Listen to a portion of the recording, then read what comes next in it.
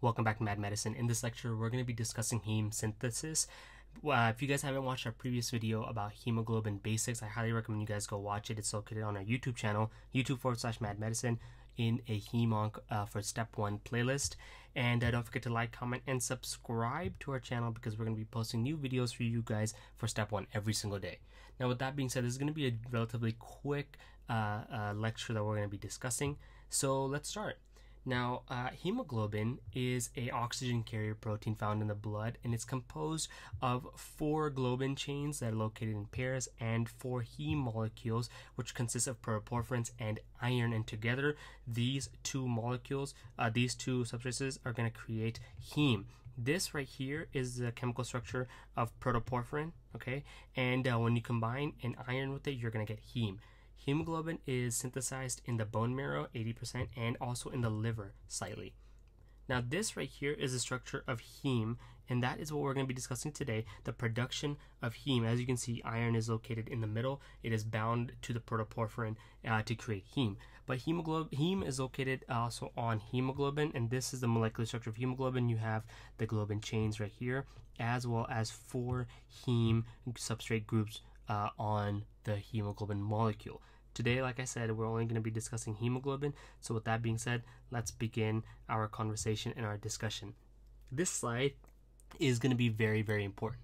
You need to understand the steps that are uh, that that are taken to produce heme. Now, the first thing you need to understand is that hemoglobin is primarily produced in the mitochondria. Okay, it's primarily produced in the mitochondria because protoporphyrin and iron combine in the mitochondria. But heme in general, the whole processes take place in the mitochondria and the cytoplasm. So don't get that mixed up. Number one. Number two, there are two main substrates you need to produce to produce heme, excuse me, and without it, you're not going to have proper production of heme. That is going to be vitamin B6 and iron. Okay, without these two, you're not going to get proper production of heme. So let's break this down. Let's have a good discussion about how uh, a hemoglo- heme, excuse me, is synthesized. It starts off in the mitochondria with glycine and succinyl CoA. It's both of these molecules are going to be combined along with vitamin B6. That's why you need vitamin B6 because you need it for heme production. So vitamin B6 is going to help along with ALA synthase. ALA synthase is the enzyme that's going to combine glycine and succinyl CoA to produce aminolevulinic acid, aka ALA. So to synthesize ALA, you're going to use ALA synthase. Pretty straightforward. Now, aminolevulinic acid or ALA is going to cross the mitochondrial membrane. It's going to go into cytoplasm, and when it does that, it's going to be converted by a molecule called ALA dehydrate.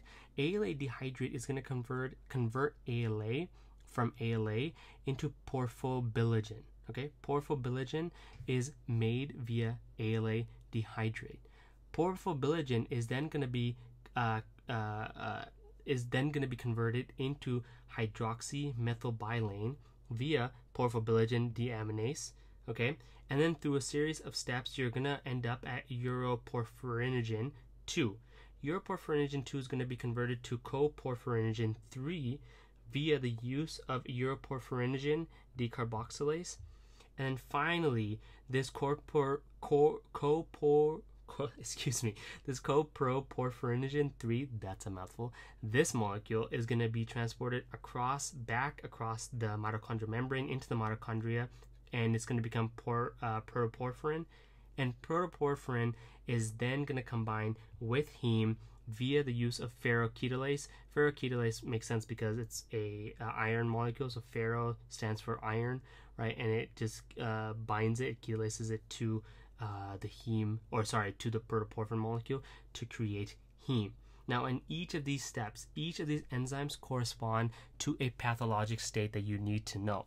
Number one, if you have a breakdown of the first, uh, the first enzyme, ALA synthase, you're going to deal with sideroblastic anemia. Okay, this is because of vitamin B6 also, right? So vitamin B6 is needed for this uh, production of ALA. So if you decrease ALA, you're going to deal with sideroblastic anemia. Now B, if ALA does not become porphobilinogen it's gonna lead to it's gonna be caused by lead poisoning. Lead poisoning is gonna block ALA, or it's gonna block sorry ALA dehydrate. So let's put that here. This is this. So lead poisoning. When you have too much lead in your body, you're gonna block the function of ALA dehydrate.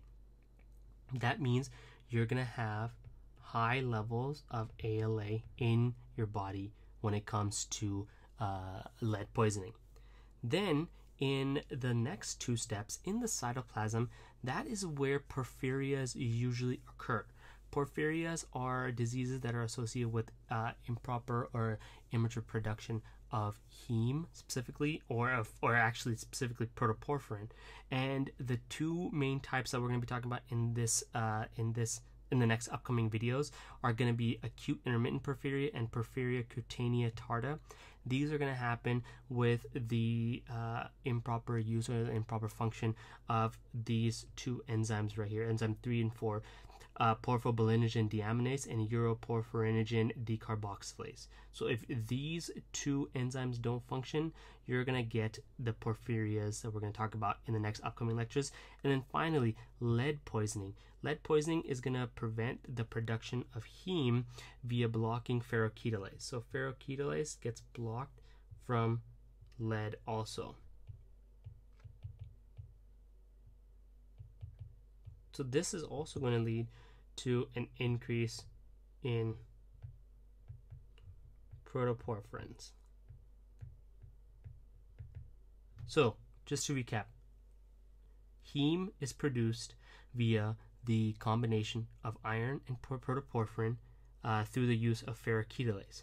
Okay, heme is produced in the mitochondria mainly, but it also uh, the precursors for heme also are located in the cytoplasm. That's where a lot of those uh, uh, enzymatic uh, interactions are happening.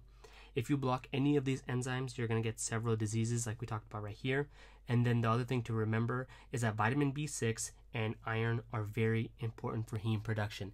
And with that being said, that's pretty much all you need to know about heme production in this video. I highly, highly recommend you guys go through, work through, and write down all of these steps so you guys can memorize this pathway. It's pretty important because you can be tested on what happens if this enzyme is blocked. Okay, not only are they going to ask you about the disease, but they'll ask you which uh, molecule is going to be uh, increased in the amount in the body, right? So if you're blocking, let's say if you are blocking uh, porphyrin, porphobilinogen deaminase, this molecule right here, what's going to happen? Well, you're going to have an increased amount in porphobilinogen, right? That makes sense because the porphobilinogen can't move forward. So those types of questions can also be asked, along with what can happen with lead poisoning, uh, as well as what does lead lead block. Okay, what enzyme does lead prevent from functioning properly? So with that being said, again, spend some time with this. Thank you so much for listening don't forget to like, comment, and subscribe to our channel. You can also find us on social media with these uh, two handles. So go to our Instagram and our Twitter. And if you don't know, you can find our lectures on our your favorite podcast service for free. Just search Mad Medicine and we'll pop up.